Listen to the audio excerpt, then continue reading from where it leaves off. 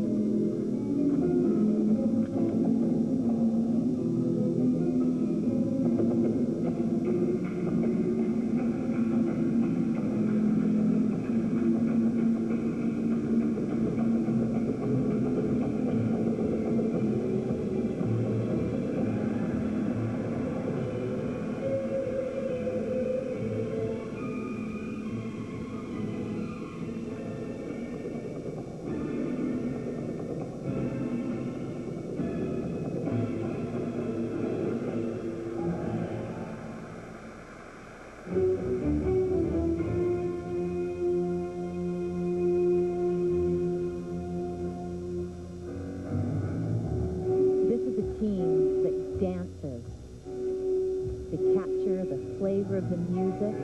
A nice variety there, a change of tempo from hard flamenco, now a winding, twisting tango.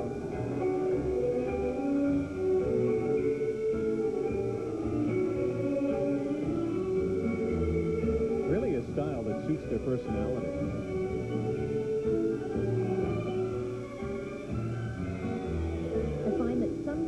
Doesn't matter what music they're skating to, they always have the same look. And Megan and Aaron are very versatile skaters.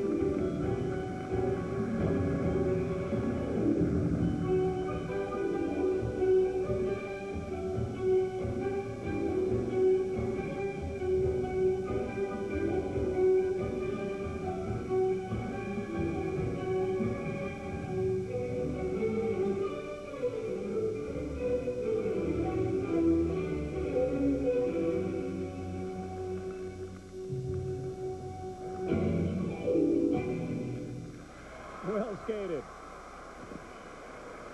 Megan Wing and Aaron Lowe went to the World Championships and did represent Canada a couple of years ago, finishing 15th. Missed a trip to the Worlds last season. And a standing ovation for this performance. And yes, it is a Canadian audience. But what they do is they draw the audience in, into the performance. The way they use the music, the timing, the phrasing. They also use a lot of eye contact with each other and with the audience. They love to dance, and it shows. It shows. Aaron, suff- uh, Aaron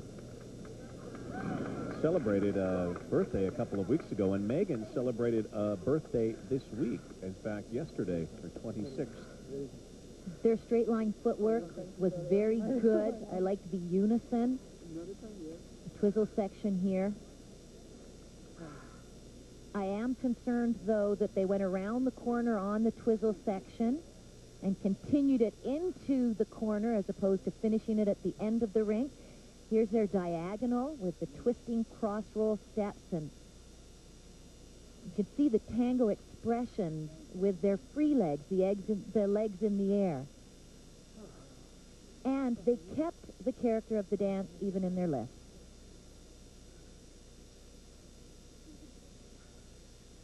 So now we'll see where the judges will place them in this original. For composition. They were in sixth place again after the compulsory dance. For Low marks for composition. The judges in the audience don't like it. Now, they've been undermarked in this competition, undermarked in the compulsory dance, and uh, and again here in the original dance. Five. Uh, They were disappointed with the judges' marks after the compulsories, maybe here too.